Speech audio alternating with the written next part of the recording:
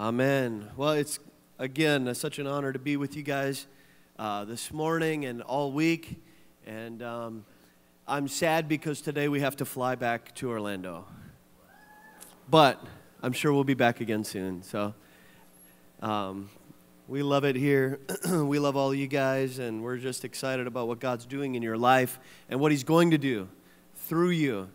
And, um, and so this morning, I want to kind of talk about a few things, um, kind of two things that the Lord really put on my heart. Before I get into those, um, I want to make a couple of announcements. Uh, obviously, if you haven't signed up for a newsletter yet, you can do that on the way out. Uh, also, make sure you stop by the product table and buy a shirt or a wristband because um, every shirt we can see, I think it's like 25 people can come to Christ with the proceeds of one t shirt.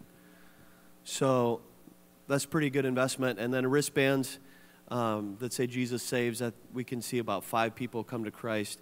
Seven people, actually, I have it written down right here. Seven people can come to Christ from the proceeds of one wristband. So make sure you visit that on your way out. And look us up on Facebook, uh, Chris Mikkelson. You can go to my website as well, chrismikkelson.com. And Mikkelson spelled with two Ks. Uh, looks like Mickelson, M I K K. Uh, e L S O N. So, chrismikkelson.com or check us out on Facebook and uh, stay connected with us. Um, if you haven't been here this week, I'm a missionary evangelist. I do gospel crusades around the world. Um, we've been focusing on South Asia right now, and um, we've been in countries near the Middle East preaching the gospel. God is doing incredible things. And uh, next year, I'm believing God that we will see anywhere between 500,000 and a million people come to Christ for the very first time. Come on, will you say amen? So I really would ask you to pray for us. This is a big vision, it's a big dream. It, it's going to take more resources than we've ever had to raise.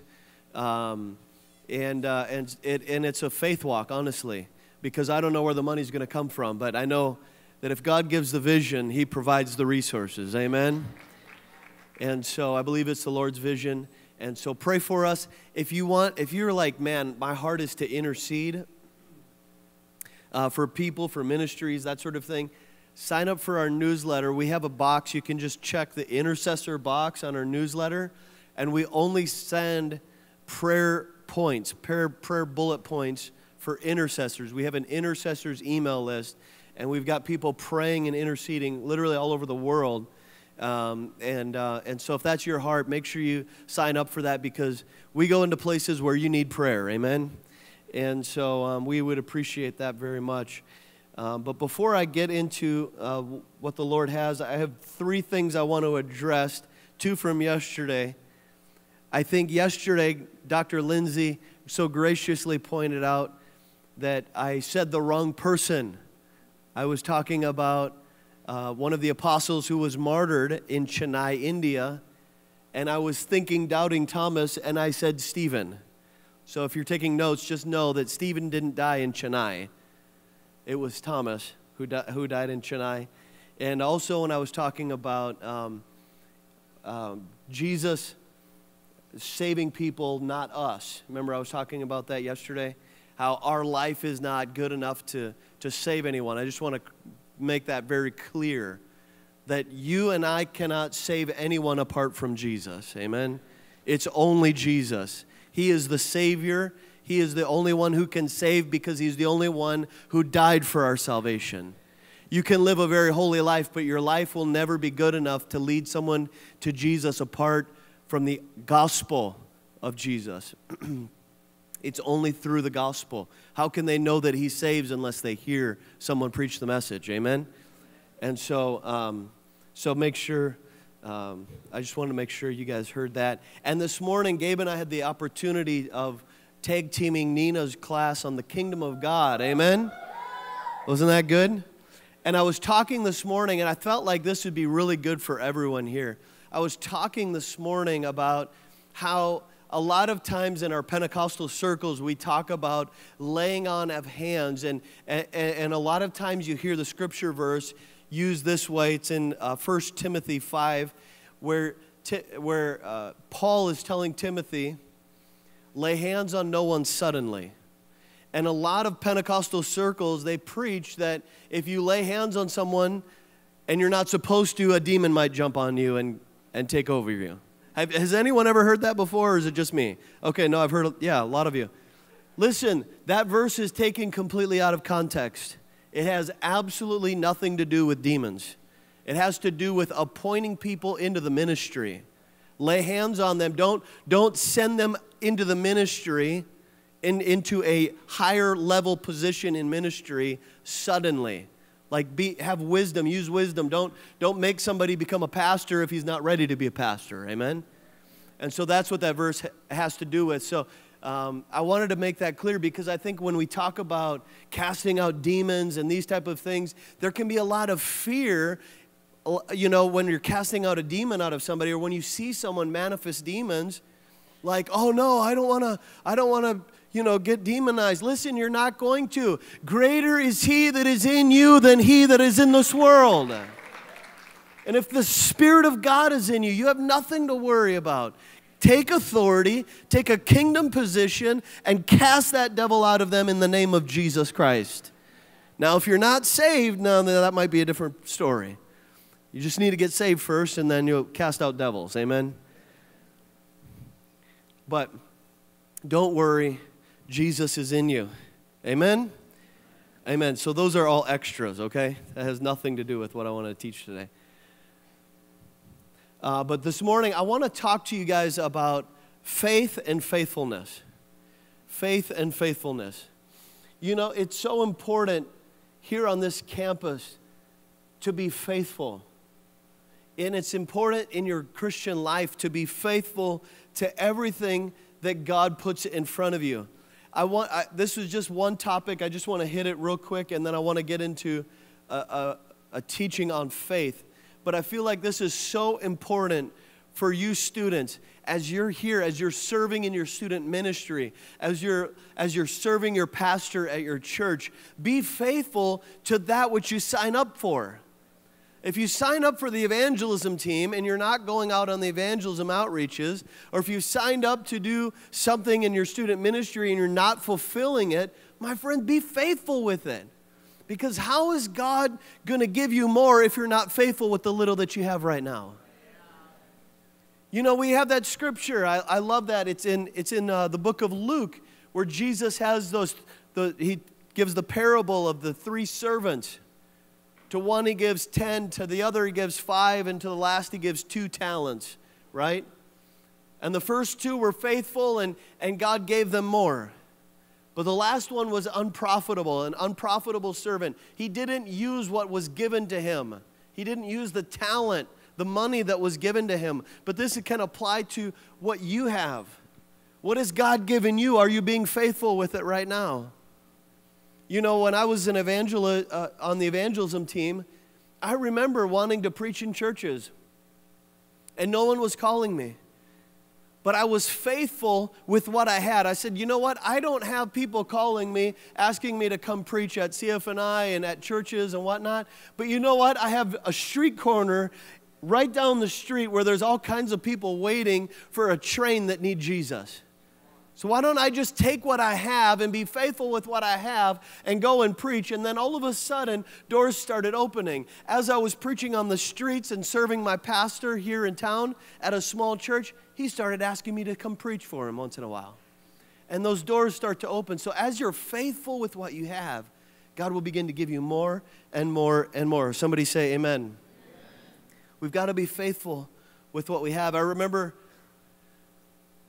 we, you know, um, as, a, as a brand new Christian, I was um, brand new. I mean, just like not even one years old in Christ, and I'm, and I'm studying the Bible and I'm learning. And, and I had a Jehovah's Witness a boss, and so he and I were always talking about the scripture, and I was just excited about Jesus and wanted him to know Jesus. And so I would come home from work every day after, after work um, and I'd grab my Bible and a concordance and my notepad, and I, I'd go up to the coffee shop and, and get a coffee. Well, actually, I didn't have any money at the time, so I would get a Mountain Dew from the vending machine and take it to the coffee shop.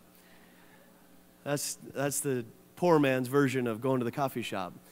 So I go down to the vending machine in our apartment complex where we were living at the time, and I'd put some money in for a soda, and then I would get my, my Mountain Dew, and I'd take all my books and everything. I'd go down to the coffee, coffee shop and just begin studying the Word, studying the Word. Well, one day, um, I went down to the vending machine. I had all my books and everything in my hands. I put in 50 cents, got a Mountain Dew, and out, out came two Mountain Dews out of the vending machine. I thought, bless God, hallelujah, glory. Two for the price of one. Praise God. And so I grabbed those and, and I felt like I heard something say you didn't pay for that second one. And I thought, no, that can't be God. You know, I'm sure that was the devil or pizza that I ate last night or something. And so I'm walking to the car and I've got all these books in my hands and I've got these two Mountain Dews and, and I'm so excited. And then I heard the voice get a little bit louder. You didn't pay for that second one. And by this point, I'm starting to wonder if this is God or not because I'm still kind of like new at, the, at all of this hearing from God stuff. And I, I opened the car door in my car, the, the, the, the back door, to go put my books in the back seat of the car. And as I was putting the books in the back seat of the car, one of the Mountain Dew cans rolls out, hits the edge, inside edge of my door of my car, and explodes everywhere. And then the voice got real clear. You didn't pay for that second one. And I said, Oh God, I've got to be faithful. I've got to be faithful in the little things. And so I reached into my car, I grabbed 50 cents, I drove up to the office of the complex building that we were in, and I went in and I brought it to the manager. And she looked at me like I was crazy. I was like, Listen, I, I didn't pay for it, but I got it out of the vending machine. She's like, It doesn't matter, it's only 50 cents. I'm like, No, but you, you got to understand, I just got to pay you for it. You see, you've got to be faithful in little. If, you can, if you can be faithful with 50 cents, God will give you 50 more. And God will begin to give you $50 and 500 because you'll begin to realize I can trust this person. You've got to be faithful with what you have where you, when you have it. And when you can do that, God will begin to give you more and more and more. And this applies so much to those of you who are sitting in those seats right now if you can be faithful with your classes, be faithful with your studying, be faithful with your preparation, be faithful at your church. If you tell somebody you're going to sing on their worship team on Sunday morning, and then at, at 9.55 on Sunday morning you wake up and call them and say, hey, bro, I can't make it because you didn't get up in time, why would God then promote you to sing on CFNI's worship stage or, or some other stage and somewhere else. We've got to be faithful, guys. When God sees that you're faithful with those things, He'll begin to give you more and more and more. Somebody say, Amen. Okay, so that was faithfulness. We've got to be faithful. You know, when I when I'm, you know, with our ministry, it, you make commitments and things get tough, things get difficult. You know, I'll never forget when we left CFNI and I got a job working as Daniel Kolenda's uh, personal assistant. It got difficult.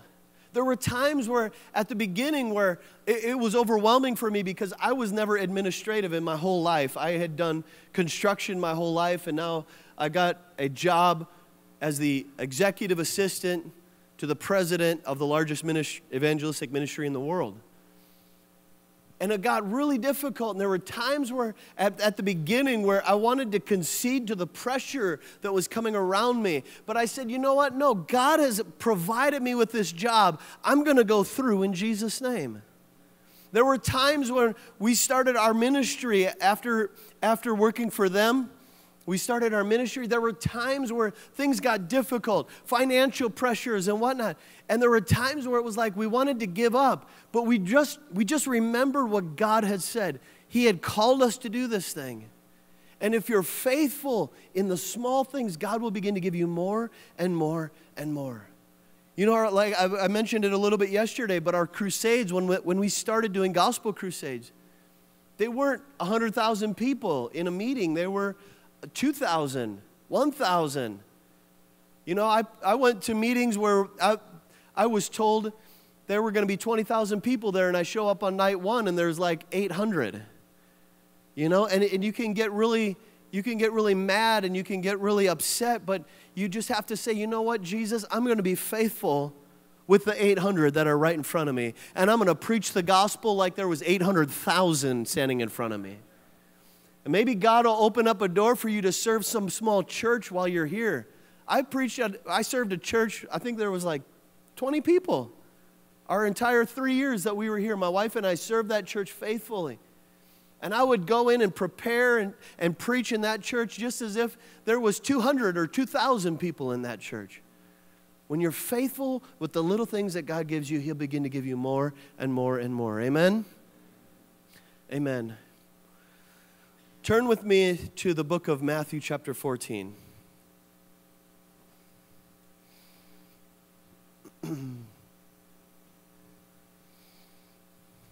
Matthew 14. This is one of my favorite stories. Matthew 14, beginning in verse 25.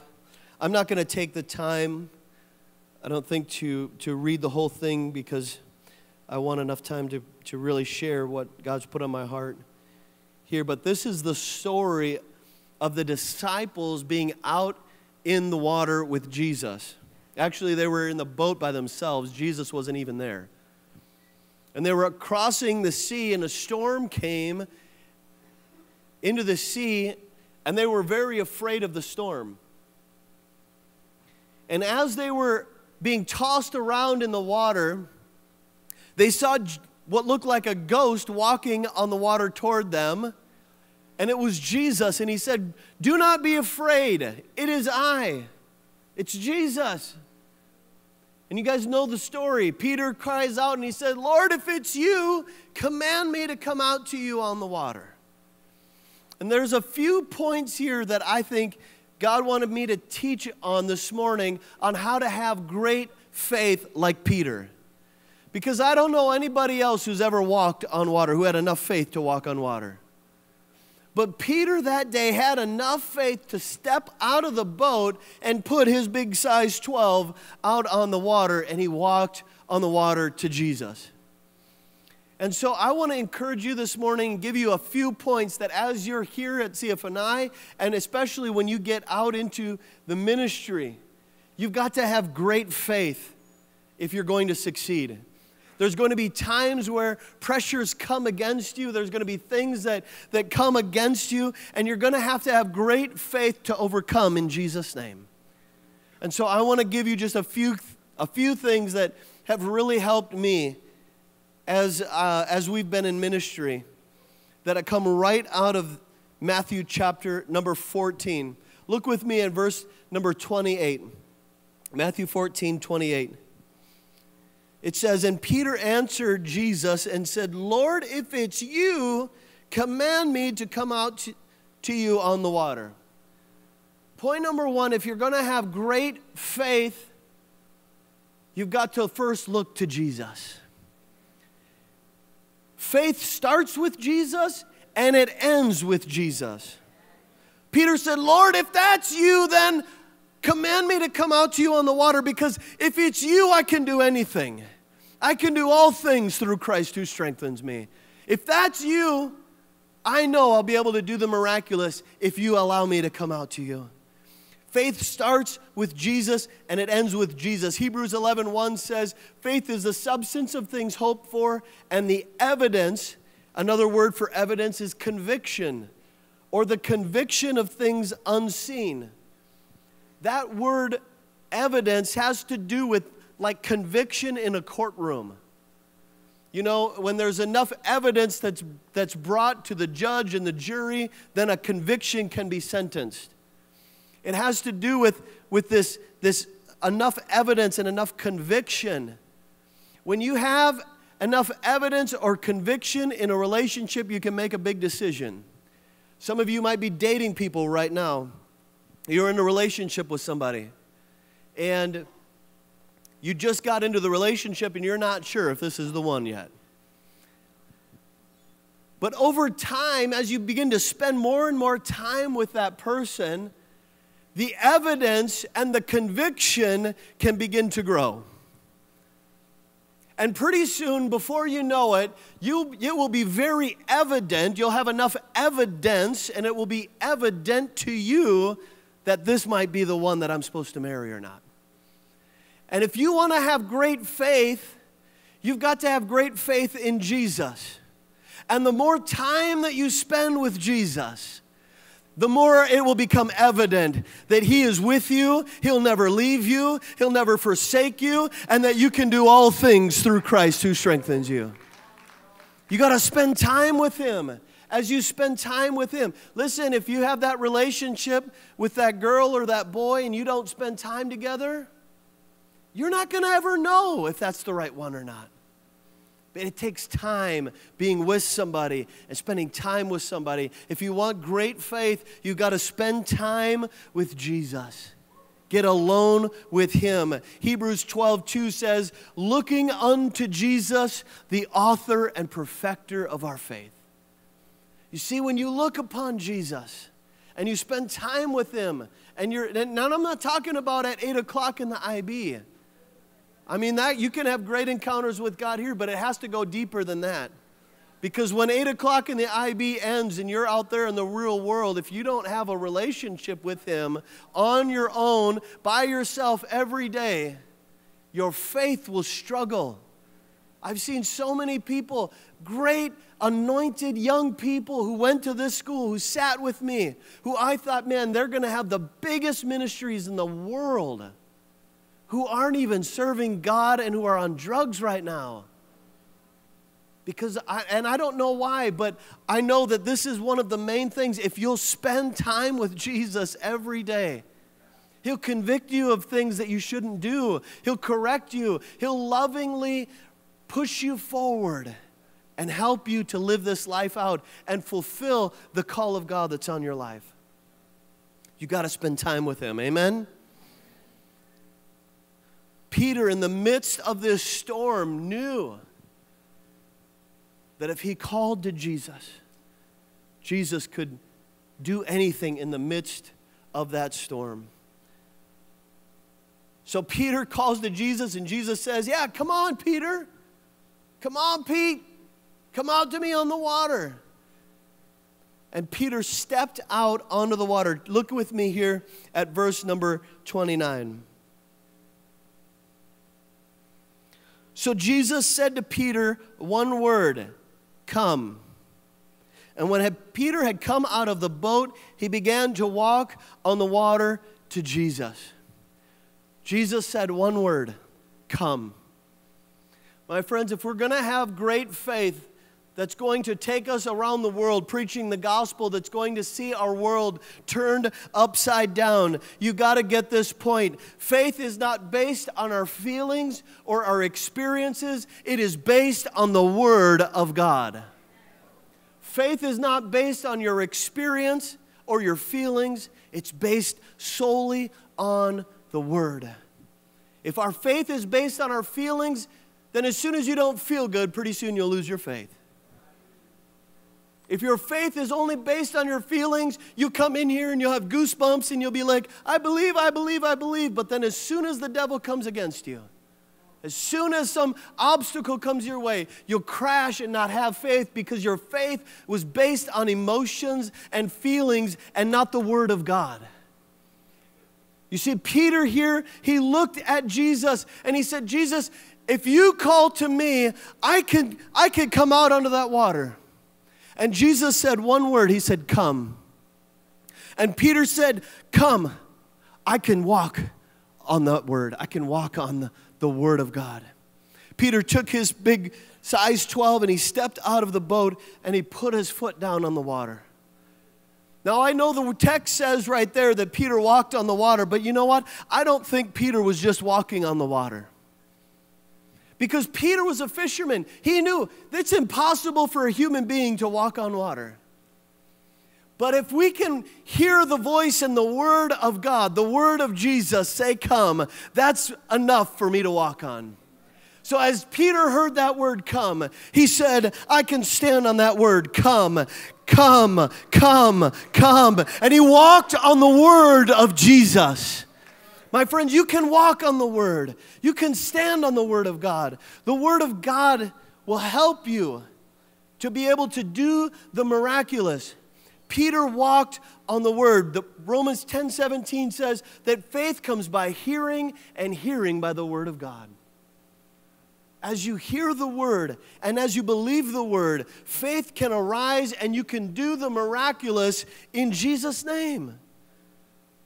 Matthew 24, 25 says that heaven and earth will pass away. Jesus says, but my words will never pass away. Matthew 7 24 says that Jesus closed his Sermon on the Mount with the story about a foolish man who built his house on the sand. He built his house on the sand, and when the storm came, it sank. It, it was completely destroyed. But another man built his house on the rock. Jesus is the rock. He is the Word, John 1 1. He is the Word of God that became flesh and dwelt among us. When you build your foundation on the Word of God, it will stand forever. You've got to stand on the Word. You see, when I was, when I first went to Pakistan, my first trip to Pakistan a couple years ago, Amen. I was, I, I'll just be honest with you, I was scared. Because I was going into a country where you could be killed for preaching the gospel. And I'll, I'll never forget, I, I got there, I knew God had, had spoken to me and said to go. That's point number one. You better have a word from God that you can actually stand on, okay? Don't just go because you feel like it's a good idea. Your feelings will, will crash, but the word of God will stand. God spoke to me and said to go. So I went on this scouting trip. I, I wasn't even doing a, my own crusade, I was just there I was visiting a friend of mine who was doing a gospel crusade there. I was going to kind of scout things out and learn and, and see about doing one there in the future. And so I'm there with him and I'm, I'm ministering in the pastors' conferences. We ministered to like over a thousand pastors in a couple of days. And, uh, and, and, and the night came where we went to the gospel campaign. And, and we got to this gospel campaign, and here's, here's a crowd of thousands of people st- standing there. And, and where we drove up to the, the campaign, we got out of the vehicle, and the only way to get from our vehicle to the stage was to walk through a big aisle down the center of this crowd. And so we're walking down this aisle, and everyone's dancing and clapping and worshiping, and they're, they're cheering for us as we're walking. And, and, and I'm looking around at our security team. Because when you go into Pakistan, you better have some good security too, amen? And so we had this security team that had been hired, but there, how many of you know there's no Christian security companies in Pakistan? Christianity was, at this point was not even 1% Christianity. Now I think it's just over 2%. But so, so uh, uh, a local security company had been hired who are not Christians and there, there are security guards. And it's always in the back of my mind like, hey, I, if I don't say something right, or if I say the wrong thing, one of these security guards who's carrying a gun might be the first one to take me out. And so we're walking down this aisle and everyone's cheering, and, and we're walking up to a building where the stage was up against a building. And on top of a building, there's a man standing there in, in, in a local outfit, traditional outfit, with the turban on his head. And he's dancing and he's holding up his gun in the air, dancing. And I'm walking right toward him. And my heart began to sink into my stomach. And I thought, oh God, this might be the end. This might be how I go down. And I look over at my buddy and, and, and I was like, hey, bro. And he looks at me, he's like, bro, it's getting real right now. And I said, yeah, it is. He's like, this might be how we go down. And I said, yeah, this might be how we go down. Like, this might be our story. And fear began to grip my heart. This, this intense fear gripped my heart. And those thoughts of this might be how we go down began to ring inside my mind. And then all of a sudden, I began to remember what the Word says. And I began to remember Bible verses like, No weapon formed against me shall prosper.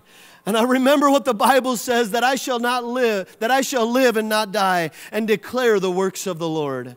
I remember how the word says that I am more than a conqueror through him who loves me. That I that that the Lord is my helper and I will not be afraid. What can man do to me? I began to remember Psalm chapter 91 and how Psalm 91, this is what I do when I read Psalm 91. I put myself into the scripture and I read it as if it was being read about me. And I say, I will dwell in the secret place of the Most High. And I, will, and I shall abide under the shadow of the Almighty. I began to remember these scriptures in Psalm 91. I will say of the Lord, He is my refuge and my fortress. He is my God, in Him I will trust. Surely He will deliver me from the snare of the fowler and from perilous pestilence. He shall cover me with His feathers, and under His wings I will take refuge. His truth shall be my shield and my buckler. I will not be afraid of the terror by night, nor of the arrow that flies by day, nor of pestilence that walks in darkness, nor of the destruction that lays waste at noonday. A thousand may fall at my side, and ten thousand at my right hand, but it shall not come near me. I began to remember the word.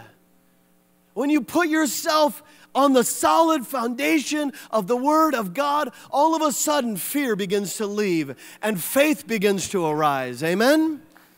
You've got to stand on the word. When I did that, immediately the fear left me. I began quoting those scriptures. I'm like, you know what? Jesus has not called me here to just die.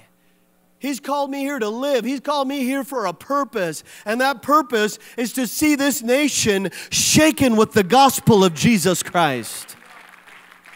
Amen. But you've got to stand on the word. If you don't stand on the word, that, that fear will overtake you and you'll begin to sink and you'll begin to crumble. We see here in verses 31 and 30, uh, 30 and 31 that Peter got his eyes off of Jesus. And it says that he began to look at the waves that were coming around him. And when he got his eyes off of Jesus, the Word of God, Jesus, the incarnate Word of God, he began to sink.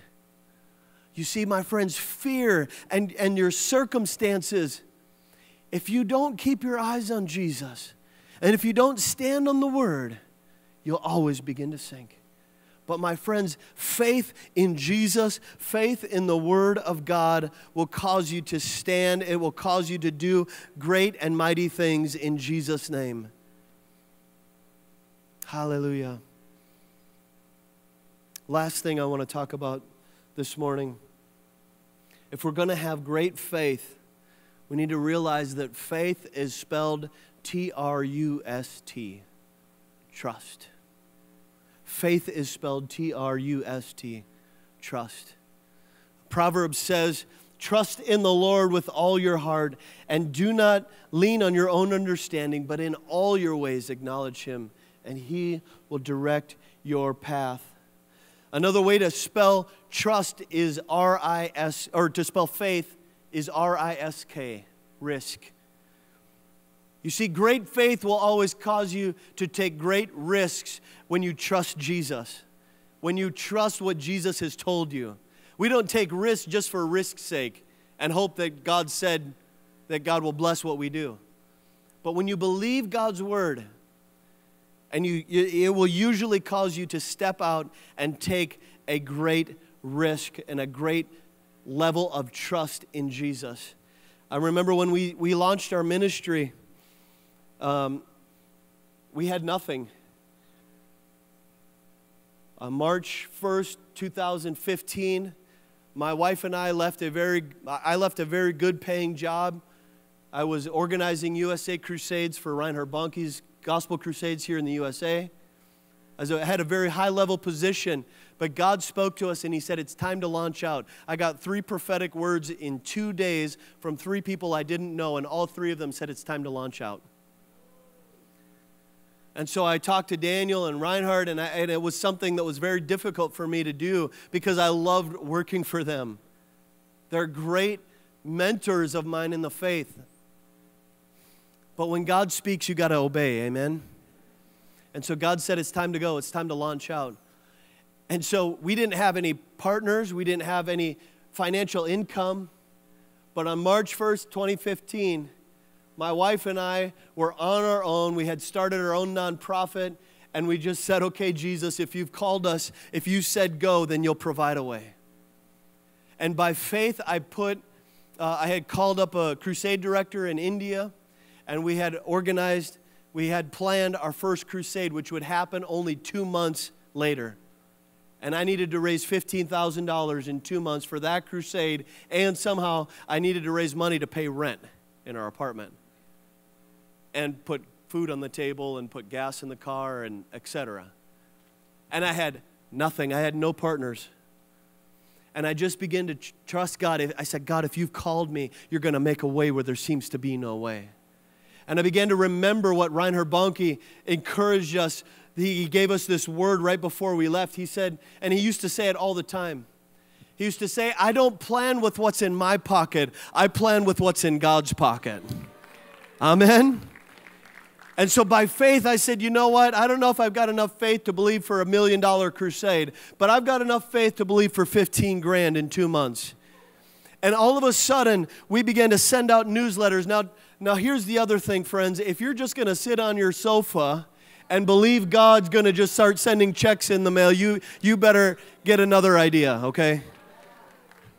Because it's not just going to come in. God doesn't bless you to just sit on your sofa, He blesses those who go with the gospel. He blesses those who are willing to work and put in labor. And so my wife and I began to send out newsletters and emails, and we designed a website, and we put everything together that we knew that we could do. And at the end of the day, we just said, Oh, Jesus, you got to help us. You just got to make a way where there seems to be no way. And all of a sudden, checks started coming in the mail and, and checks started coming in online. And, and somehow, some way, it was just miraculous. Every step of the way, God started to provide.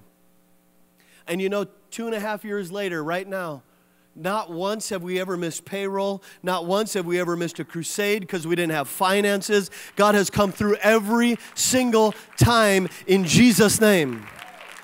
Amen. I never forget one crusade um, about a year and a half ago. We were 20, we were $12,000 short. And uh, we still needed tw- this $12,000 for this crusade. I woke up one morning needing 12 grand, and I was getting on the plane to go to that country to do the crusade that afternoon. And I got up and I got into my prayer closet like I always do. I just get before Jesus for at least one or two hours every day. Not to prepare, to prepare for sermons, but to just be with Him. And I got in and I just began to pray and just spend time with Him and worship. And, and I just, during that prayer thing, I just gave my, that burden to God. I just said, Oh God, I need $12,000 today and I don't know where it's going to come from. But I said, I trust you. I trust you. See, that's where faith comes. It trusts Jesus, it trusts the word that He's given you. And so I just said, God, I trust you. I don't know where it's going to come from. I don't know how we're going to do this, but I trust you're going to provide a miracle. I had called everyone I knew to call, I had emailed everyone I knew to email, and I was still short. About six months prior to that, I'd called a guy who, uh, uh who I, I thought could probably write a check for $12,000, but I wasn't sure. I'd only talked to him one time before that. And I had tried calling him six months prior to sit down and have coffee with him, and I hadn't heard back in six months. I got out of my prayer closet a couple hours later. I decided I was going to go out to the garage to get a little workout on before getting on the airplane, and my phone rings, and it's this guy that I called six months prior. And I said, he, he, he answers, he goes, Hey, would you like to go out and have coffee this week? I said, Well, I would love to, but I'm actually getting on a plane this afternoon to go to this country to do a gospel crusade. He said, Oh, wow, praise God. I said, Listen, we're still $12,000 short. I don't know if there's any way you could even help with that. I didn't know if he could or not. He said, Oh, yeah, no problem. I'll send a check right now. Come on, thank you, Jesus. God has provided. See, when God gives you a vision, when it's a God vision, not a man vision, not a, not a oh, I think this is going to be a great idea for me and, and I'm going to be able to put pictures on Facebook and show the world how, how wonderful I am. But when it's a God vision, when God gives you something and He speaks to you, He will begin to provide your needs as you step out. But you better know that it's Jesus. And, you and, and, and when you do, follow Him with relentlessness and trust Him, and God will provide every need in Jesus' name. Amen? Come on, this is good. Jesus is good. Amen? He'll provide for you guys. Now, listen, I didn't graduate CFNI and go straight into doing gospel crusades. Sometimes there's those seasons where you've got to trust the Word of God even when it doesn't seem like it's going to happen. I left here and, and yeah, I got a great job working with Daniel Kolenda and Reinhard Bonnke, and I was learning a lot. But there were times during that season where I was so overwhelmed with work and, and with all of these things that that, that vision, you, you start to wonder, am I ever going to do gospel crusades? of my own? Am I ever going to fulfill what God spoke to me when I was at CFNI, when I got anointed as an evangelist in that prayer meeting? Is that ever going to happen? But my friends, you've got to just continue to believe and pray and say, one day God's going to show me. One day God's going to speak to me, and everything is going to come to pass in Jesus' name. And sometimes that vision takes years to come to pass. But don't be afraid to serve and to be obedient right where you are and continue to pray and believe. And one day, my friends, God's going to open that door up for you. After three and a half years, that doesn't sound like a long time, but it's a long time when you're in it. But after three and a half years of serving them, God spoke. I had th- those three prophetic words, and I just knew it was, it was hard. It was hard because you're like battling this thing. It's like, man, I'm, I'm going to step out into the complete unknown with no partners, no finances. How are we going to do this? But I I just couldn't get away from those three prophetic words. And then I shared them with my wife, and she's like, Well, I actually had a dream a, a few nights ago. I, I, was waiting for you to hear from God for yourself, but God showed me a, a few nights ago that we were supposed to launch out. And so then more confirmation comes. And we just knew that we knew that we knew. So, my friends, as you go out, God was, He's going to show you guys what to do. He's going to give you faith, radical, crazy faith in Jesus. And radical, crazy faith in Jesus equals radical, crazy miracles for Jesus. Amen? Why don't you stand to your feet? We've still got a few more minutes, so if you don't have to leave, don't leave quite yet. But I want to pray for you guys. I believe God is going to send people from this place. If the worship team could come back, that would be great. But I believe Jesus is going to do radical, crazy things in your life, in your ministry.